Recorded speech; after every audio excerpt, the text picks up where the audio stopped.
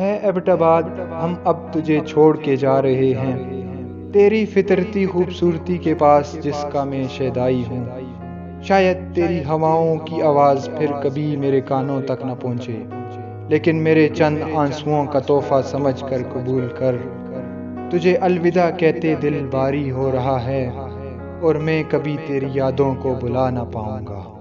Sir James EBIT सन अठारह सौ तिरपन में हजारा से तबादले पर गमजदा हो गए थे। इस मौका पर उन्होंने एबटाबाद के नाम ये मशहूर ज़माना नज़म लिखी थी, जिसको पढ़कर इनकी इस शहर से मोहब्बत का अंदाज़ा होता है। असलम नाजरीन आप देख रहे हैं डेली एबटाबाद और मैं हूँ वकास अली। नाजरीन, हमारी आज की वीडियो का मौजू है कि सर जेम्स एबिट कौन थे? लेकिन वीडियो में आगे बढ़ने से पहले आपसे गुजारिश है कि हमारे चैनल डेली एबटाबाद को सब्सक्राइब कर लें और साथ मौजूद घंटी के बटन को लाजमी दबाएँ ताकि हमारी नई आने वाली वीडियो का नोटिफिकेशन आप तक पहुँच सके।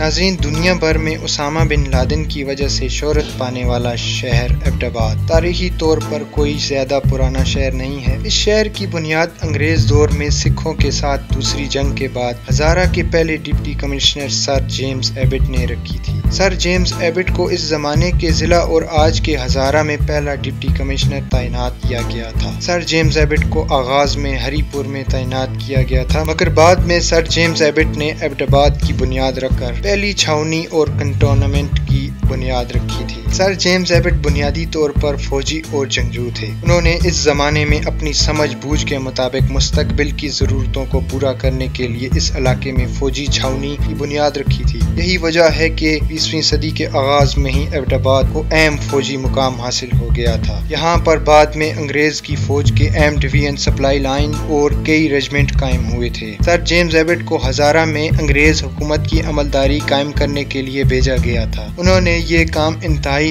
हमत अमली से किया था। वो अमूमन बेस बदल कर आम लोगों में घुल मिल जाते थे। यहाँ तक के एबटाबाद शहर से 30 किलोमीटर दूर शहरवान के इलाके में भी बेस बदल कर क्याम पजीर रहे थे। तारीख के अंदर वो इंतहाई दिलचस्प किरदार थे। कई तारीखी हवालों में कहा गया है कि उन्होंने लोगों के हालात को समझने के लिए बेस बदल कर इमाम मस्जिद का रूप भी दहारा था। हजारा में इनकी शोहरत एक रैम दिल और इंसाफ पसंद डिप्टी कमिश्नर की थी। सर जेम्स एबर्ट को हजारा में अमन अमान कायम करने के अलावा कई फौजी मुहिमात में भी हिस्सा लेने पर कई अवार्ड से भी नवाजा गया था।